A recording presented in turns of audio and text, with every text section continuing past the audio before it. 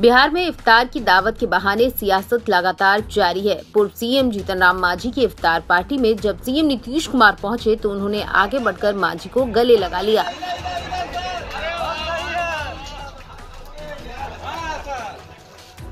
इस दौरान मांझी ने भी आगे बढ़कर सीएम नीतीश कुमार को टोपी पहनाई।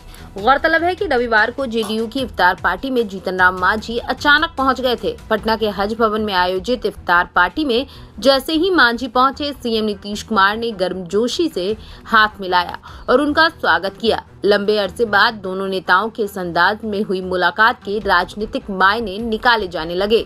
इसके बाद आज की मुलाकात भी इस सियासी कहानी को ट्विस्ट दे रही है। बता दें कि केंद्रीय मंत्रिपरिषद विवाद को लेकर बिहार का राजनीतिक घटनाक्रम तेज़ी से बदल रहा है। न सिर्फ़ सिलसिलेवार तरीके से बयान आ रहे हैं, बल्कि मुलाकातों का सिलसिला भी शुरू हो गया है। इस क्रम में दो दिनों के भीतर मांझी और नीतीश की दो बार मुलाकात को लेकर अटकलों को हवा मिल रही है। बता दें कि मांझी के आवास 12 एम स्टैंड रोड पर आयोजित इफ्तार में विरोधी दलों के कई नेताओं ने शिरकत की। इनमें बिहार की पूर्व सीएम राबड़ी देवी और लालू यादव बेटे तेज प्रताप यादव भी शामिल रहे। हालाँकि सीएम नीतीश के आने से पहले ही राबड़ी निकल गई। हालाँकि बाद में मीडिया से बात करते हुए उन्होंने सीएम नीतीश के महागठबंधन में वापसी पर सकारात्मक रुख दिखाया और कहा कि नीतीश कुमार का आना गठबंधन तय करेगा।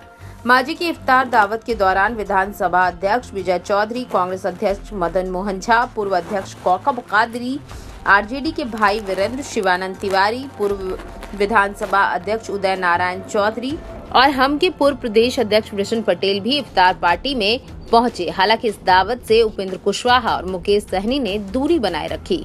बहरहाल, सीएम नीतीश कुमार और पूर्व सीएम जीतन राम मांझी की जिस अंदाज में मुलाकात हुई, ये बिहार में आने वाले सियासत में बड़े उलटफेर का संकेत माना जा रहा है।